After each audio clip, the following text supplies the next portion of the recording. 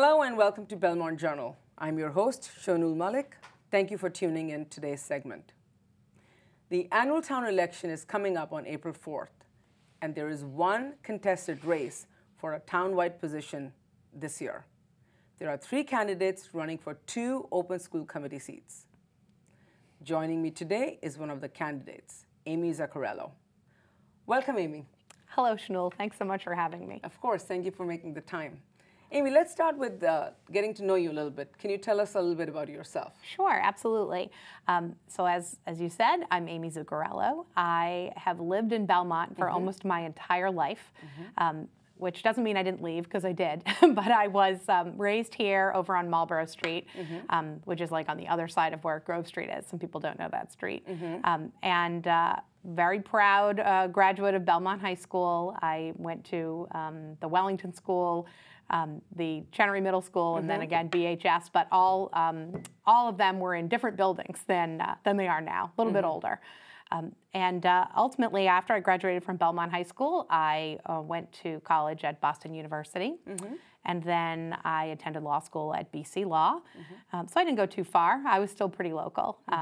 But eventually, my husband and I, we had gotten married. Um, we lived outside of Belmont, and we decided it was time that we wanted to have a family, and we really felt like Belmont would be the ideal place to raise our kids. Mm-hmm. So we returned in 2003. We've been homeowners since then. Mm-hmm. Um, we're really fortunate to have uh, raised our kids um, in the Burbank area, Burbank mm-hmm. school area, and our kids both attended Burbank. Mm-hmm. Um, as I said, we have two kids. Um, the oldest, it's hard to believe, is actually a graduate of uh, Belmont High School. Wow. I know. Time, Congratulations it, on that. I know. I, have got one done, um, but he graduated in 2021. Mm-hmm. Uh, he's now a student at Oberlin Conservatory in Ohio, mm-hmm. and he's studying um, jazz composition and jazz trombone, which is mm-hmm. really exciting for our family mm-hmm. to have a musician in the family. Mm-hmm. And then my daughter is a freshman at Belmont High School.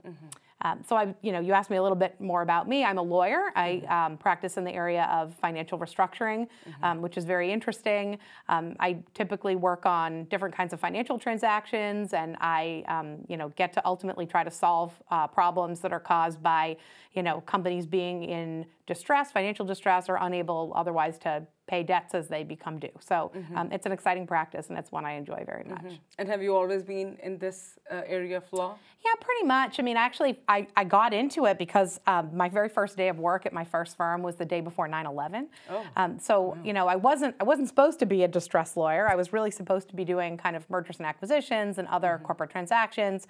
But you know, you do the work that comes along, mm-hmm. particularly mm-hmm. when you're a new lawyer. So I was really fortunate that bankruptcy had an opening, there was a need there. Mm-hmm. Um, I, I got along really well with the folks in that area, and I just was been fascinated by it since I started doing that work. So mm-hmm. I never really, I never really strayed from that path once I kind of figured out what it was and, and mm-hmm. learned that I really like it. Mm-hmm. Amy, you have a pretty extensive history being in Belmont. You know, I do. Uh, born and raised here, went to school, and so on and so forth. Can you share with us what kind of volunteer positions have you held? Sure. Uh, in, in all these different times, or the ones that are most dear to you? Yeah, no, absolutely. So I guess kind of the good thing about having kids that are a little bit older is that I've gotten to do volunteer and community activities in all different places. Mm-hmm. You know, um, mo- you know, one of the things that I, I know a lot of people from is the work that I did with Palms, which mm-hmm. is Parents of Music Students, as I know that you know. Mm-hmm. Um, so some people will remember seeing me in the snack shack, you know, mm-hmm. selling hot dogs during soccer night or you know one of the football games.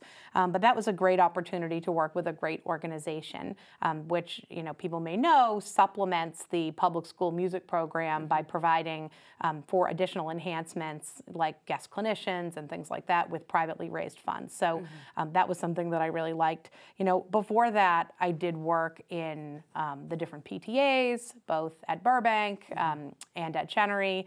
I was the treasurer of the uh, Burbank PTA for a little while, and then I found that I really enjoyed working on different events. So mm-hmm. I worked on you know, for those proud Burbank grads who may remember the uh, Geography Challenge, which mm-hmm. was a program that I was a co-chair of for a few years, mm-hmm. um, and I also did work on library night and science nights and things like that. Mm-hmm. Um, most important to me, though, I cannot I cannot understate the importance of my work with Belmont Girl Scouts. Mm-hmm. Um, I've been involved with the Girl Scouts in Belmont um, as an adult now for about nine years. Wow yeah, it's it's really a wonderful organization, and a lot of people don't necessarily know mm-hmm. about it, mm-hmm. particularly if you don't have um, children who've been in the program. But I started as a troop leader for my daughter's troop.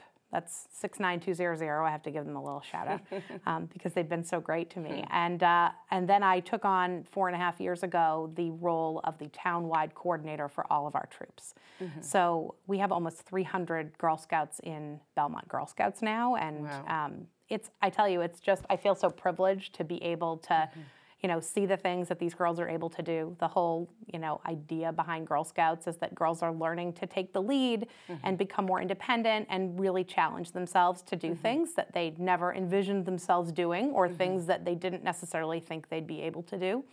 So I'm trying to set a good example now that I'm running for school committee because sure uh, we really want girls to believe anything is possible, and certainly I believe that. Um, but that's a great organization that I've been privileged to work with for a long time.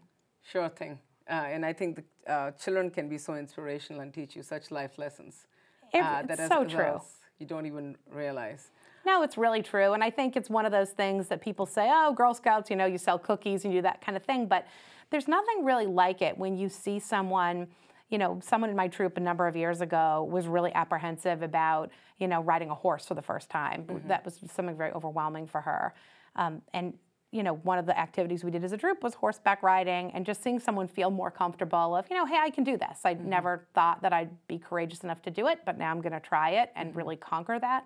It's pretty incredible. And mm. uh, and it's again, it's mm-hmm it's one of those things that I've always taken a lot of interest in, mm-hmm. you know, children's issues and really providing kind of mm-hmm. the right environment for kids to succeed at whatever it is mm-hmm. they want to do. And um, and it's really Girl Scouts has really given me a, a lot of rewarding uh, time with kids in this community. Thank you for sharing that insight with us, Amy, and getting to know a little bit more about you. Um, so it's interesting. You had a lot of volunteer experience in in schools uh, throughout, whether that be elementary or middle or high. Yeah. Um, can you tell us how these volunteer experiences have made you who you are today and how the skills and experiences are a good fit and make you qualified to be on the school committee? Sure, absolutely. Well, you know, I would have thought up until a few years ago when I think everybody became more focused on what the school committee does. Mm. Um, you know, I would have thought kind of before that that the school committee is really for people with an educational background. Mm. You know, it's for people who are either teachers or who have advanced training or advanced degrees mm-hmm. in educational policy. You know, that's the kind of background that I just thought, you know, people who were on the school committee needed to have. But I think, you know, maybe one good thing about the pandemic is that we watched a lot of school committee meetings as a family, and I know lots of families did this.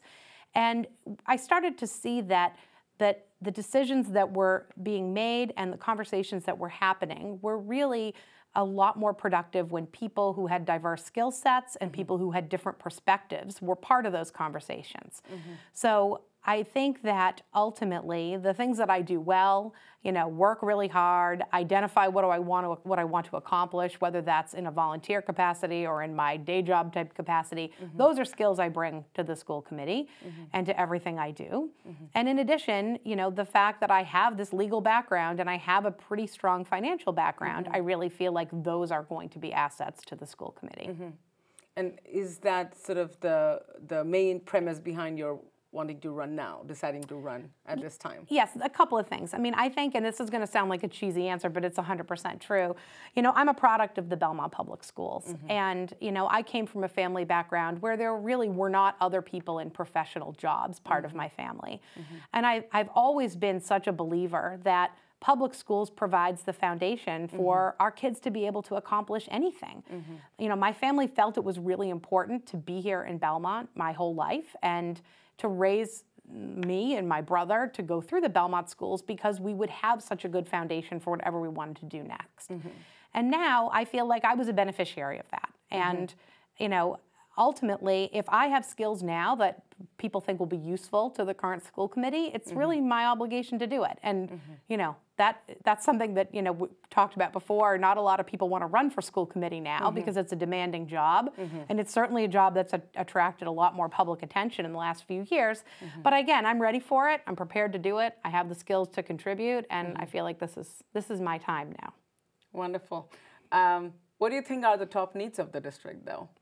Well, I think a few things. I mean, folks who have followed the school committee and certainly the warrant committee and the budget summits know the, the two big things. I mean, I think selection of a new superintendent mm-hmm. is obviously super important. Mm-hmm. I mean, anytime that you're looking for someone within the district to really lead the tone of how our schools are administered, you know, it will make a really big difference. Mm-hmm. You know, who is selected now and, and to make sure that it's someone with the right leadership skills and really with the right experience. Um, ideally, someone who understands Belmont. You know, mm-hmm. I mean, someone who really understands how the town works, mm-hmm. um, what the stressors are, and what people expect from our schools when they move here. So I think that's a big thing. And then obviously the budget issues are are mm-hmm. huge. And again, anyone who's paid attention to things recently knows that there's a lot of stress on the financial, mm-hmm. um, you know, elements of our town, and those obviously extend to the school budget. This is not a time when the numbers will allow us to have everything we want as mm-hmm. much as we might want to have everything.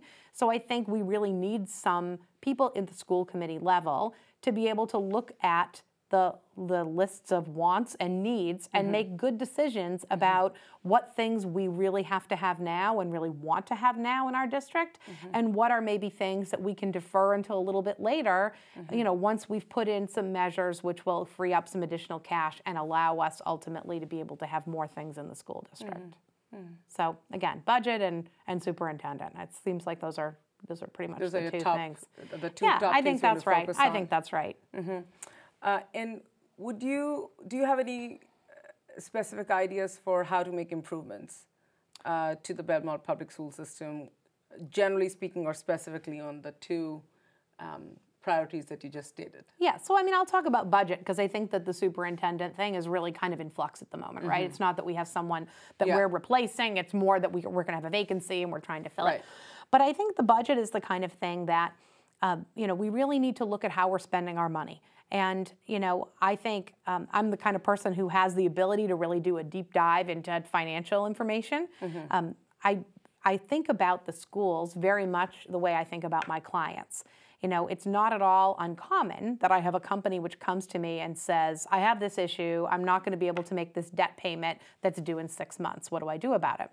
So it's not very different than when you look at the school budget and you look at again the things that we hope to be able to provide our students with next year or the year after and then we look at the dollars that are allocated from the town to fund the school budget and if those mm-hmm. things don't match which right now they do not it's a matter of figuring out where you can save those costs mm-hmm. i think we have to be creative in order to make that happen mm-hmm. i don't think it's something that we can just say you know, we'll, we'll cut X number of teaching positions or will increase class size by a huge number. I think we really have to look at where the dollars get spent now. Mm-hmm. Some of the things that I'm focused on are out of district spending, mm-hmm. um, which of course we need to do in order to accommodate special education plans. Mm-hmm. Um, but the question I have is, you know, can we accommodate needs in house if we invest the money up front to mm-hmm. build a more robust program to accommodate the needs of certain students? Mm-hmm. So, I mean, that's something which is, again, not solved in a day, but you know, it's very difficult to control spending when it's an out of district expense. It's a lot easier to control mm-hmm. when it's something you can manage in house. It may be that that's a viable option. It may be that it isn't. It's one mm-hmm. of those things that we really have to look at. Similarly, I think administrative costs mm-hmm. are very high. We're now effectively building another school by having this, you know, upper middle school, mm-hmm. which is housed at the high school campus. Mm-hmm. So the question is, what are the administrative costs that we're going to bear by adding another school? Mm-hmm. And how can those costs be shared potentially mm-hmm. across other schools in the district? Again, I think it's just something that really we have to look at and it may or may not be the best way to save the mm-hmm. dollars that we're looking to save, but it's certainly an option. So those are some those are some ideas that I have. So for if I'm hearing you correctly, you're saying given the limited budget, one of the ways you would prioritize is to see any of the line items, cost line items that can be brought in-house. Yes. So that you can manage right. that a little bit more, exactly. more control. And and where can cost sharing can happen across the schools. The district, yes, exactly. Um, any other uh, ways that you think you might want to prioritize what makes the budget and what gets out? Well, I think the things that need to stay in the budget are things that are directly impacting the student experience. Mm-hmm. I mean, as much as possible. And I know you say, well, you run a school, of course, everything affects the student experience. But I think that we really have to think about the reasons that kids come to school every day and enjoy school every mm-hmm. day. Mm-hmm. We have really tremendous educators in this town And we're so fortunate. I mean, this is really what makes the school system what it is. As much as we like our beautiful buildings and it's great to have nice grounds and you know you have to have a certain number of parking spaces, it's really the educators that make the town work and the mm-hmm. school system work the way it does. Mm-hmm. So before I would I would ever think that we're cutting classroom teachers or we're reducing offerings in the school. You know, we say things like we're not going to have foreign language or we're going to eliminate strings at a certain grade level. These are things that kids do every day. Mm-hmm. And and in some cases there are reasons kids get excited about coming to school. Sure. So these are things that I would be much less in favor of reducing. Mm-hmm. Um, again, the classroom experience I think is something that makes Belmont really special and it's something that we need to do our best to preserve. Mm-hmm. So I hear you paying a lot more emphasis on uh, the holistic student and inside classroom teaching as well as outside classroom teaching. I think that's right. What gets kids excited. That's right. Um, and with that said, you know, limited budget, student experience, but we also have very diverse student needs. You know, it's Right. not it's not a uniform student body. Right. Uh, so different students, different needs. How would you address those? I mean, thank goodness it is diverse, really, because I mean, you don't, you know, you know, it, it's We live in a diverse world, We so do, and it, you know, honestly, it's a great experience for everyone to go to school with people who Mm-hmm. are not exactly like themselves, and it's certainly preparation for the real world. So Mm-hmm. I think, you know, there are really two goals that have to work together. Mm-hmm. We know that Belmont is a school system that is known for academic excellence Mm-hmm. Academic excellence, it, there's no substitute for it. It's that important. And it's really something that I owe a lot of the preparation that I have, having been able to go to a competitive college and then a competitive law school. I owe a lot of that to the preparation that I got when I was here as a student. You know, back in those days, and it's not that long ago, but it's long enough ago, we didn't have things like extracurricular math. I mean, if it existed, and certainly mm-hmm. my family didn't know about it. So, I mean, it's one of those things that I think academic excellence is number one. But we have a diverse student body, and we have to remember that it's really a two goal system. It's one, maintaining academic excellence, but at the same time, supporting the needs of everybody in the school system. It's not only one group, it's not only certain, you know, um, a group with a certain set of needs. It's really everybody who goes to school here because public school is school for everyone. And I think that's really important. I mean, the town has made some excellent excellent strides mm-hmm. toward uh, diversity and inclusion over the mm-hmm. last couple of years. I mean, obviously, the hiring of Chantel Washington mm-hmm. and really expanding its reach toward addressing social justice issues, addressing, addressing issues that are from that stem from having a more diverse student body. We have more work to do there, and I think again, resources can't be um, directed away from those efforts. It's really important that we preserve those. Thank you. Thank you, Amy, for that thoughtful answer. Um, you know, it's, it's a school committee, as you said, you know, it's a demanding job. Uh, Yeah, it has, definitely. it has power, and along with power comes a lot of responsibility. That's right. Spider-Man quote. Yeah. Good. I'm glad. Uh, yeah. Um, I'm wondering is there a decision that was made by the school committee in the past Yep. or, or recently that you disagreed with? And if you could share that with, with us, please. Sure, happy to. So I think first of all, I'm going to preface my comments with it is so much easier to look back and, and Sure. not be the one in the room at the time. It's the, it's the power of the It hindsight. is the power of hindsight, Yeah, right? So it's yeah. it's, and I say this with all due respect to any of my colleagues in Belmont, who I know uh, for a fact have all done a- an excellent job and done the best they can at the Mm-hmm. time making a decision. I was very disappointed in the as we opened school in 2020 in the middle of the pandemic, and I know I'm not alone in this decision. I'm in this feeling this way rather. Um, my son was a senior in high school, and you know the Belmont's decision to begin school in a full remote way. Um, I was disappointed in that decision, and I think it goes back to, you know, the original plan was supposed to be we're going to have three different plans. We're going to have a full in-person option, we're going to have a hybrid option, and then we're going to have, you know, a full remote option. And that sounded like a really good plan back in the spring of 2020, and I think people embraced that generally. But again, it was a lot to do in a short time period, and mm-hmm. unfortunately, the thing that I regret is that we weren't prepared with those three viable plans mm-hmm. when the school year started. Because what ended up happening is that, you know, the, the pandemic uh, evolved the way it evolved, mm-hmm. and we really didn't have the ability to pivot from one to the other to the other early enough in the year. And so then I felt like we were playing catch up a lot because we needed to put together some kind of hybrid plan which was very complicated and something for which there had been no rule book as to how you're actually going to do it. And, you know, it definitely, I think, was a disadvantage to students who were not able to return to a full in classroom or even to a hybrid classroom earlier in the mm-hmm. year than I would have hoped. But again, I, I say this with the, the utmost respect for my friends and neighbors on the school committee that mm-hmm. it was a really hard time to be on the school committee and certainly to be an administrator in the educational system. So, you know, we all do our best, but I think that's something that when we look back, we could have improved. Sure thing. Thank you for, for your being candid, Amy. We oh, sure, no that. problem. I hope um, no one's too mad at me, but I'll be uh, all right. uh, what, what is your vision for education in, in Belmont? You've been a Belmont uh, student yep. and a mother of Belmont kids.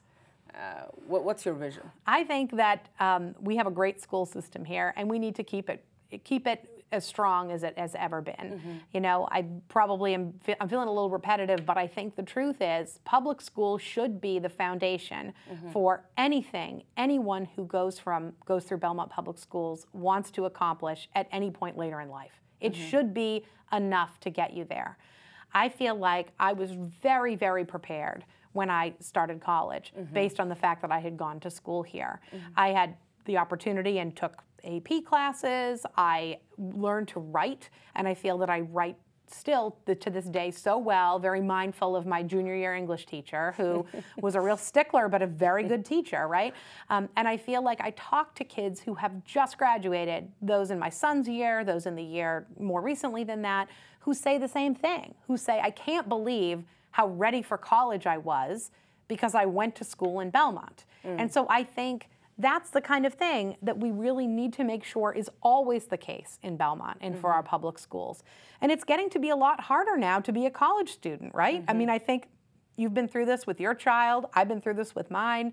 College acceptances and admissions are super competitive now. It's, I mean, uh, it's it's it is, and it's it's it's hurting the students' mental health. It's mm-hmm. it's not a great environment. But I think what we need to do is focus on how we can give kids the best preparation for what they're going to do next. Mm-hmm. And that starts in kindergarten because mm-hmm. when you learn those kind of social skills and you learn to make friends when you're that young and you learn, you know, how to respect other people and you ultimately learn to study hard and then you learn to be academically challenged, mm-hmm. that's all part of the picture of mm-hmm. really who, who you're going to become. And it, it, certainly has been the case for me. Mm-hmm. Um, I like to think that you know, we take the kids who come into Belmont Public Schools can emerge as really versions of their best self. Mm-hmm. And I think my vision is to make sure that's always true.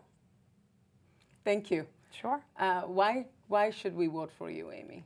Or anyone vote for you? Why should anyone vote for me? Well, I would say a few things. First of all, I'm invested in the outcome here. Mm-hmm. I mean, I can't say enough about the fact that Belmont is my home. It will always be my home. And I think I take it very seriously when things go wrong in our town. I get defensive when I say, well, how can you say bad things about Belmont? Um, I'm, I'm invested in what the outcomes are. Um, second, I have the preparation and the exposure to know what it's like to raise kids through mm-hmm. the whole school system. Mm-hmm. And it's, you know, I've learned a lot from having kids in preschool and then kids in elementary school and kids in middle school and ultimately high school and now as a graduate from, from Belmont High School. Mm-hmm. So I really have kind of this long, like I would say it's like a longitudinal exposure to what it's like to be a parent of a student at all of those different levels. Mm-hmm. I work super hard. Everyone will tell you this. If, if it's something that I take on, I'm going to give you 110% because I just don't know how to do it any other way. Um, I think I could get, you know, if you ask anyone who's worked with me in Girl Scouts, uh, you know, we set our minds to something, we make sure that we accomplish we accomplish it. It's the same for my clients, you know, who who pay me to do their work. I just take responsibilities that I take on very seriously. I know that nobody will work harder at this job than I will. And finally. I think I have the experience that the committee needs. And you know, it is with that that I really feel that it is a responsibility for me to give back to my community, and I'm really excited. I hope I get to do it. So please vote for me.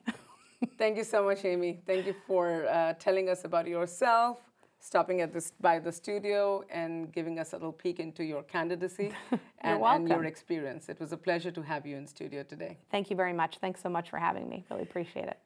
Thank you for our viewers for tuning in. I'm your host, Shonul Malik. Do not forget to vote on April 4th.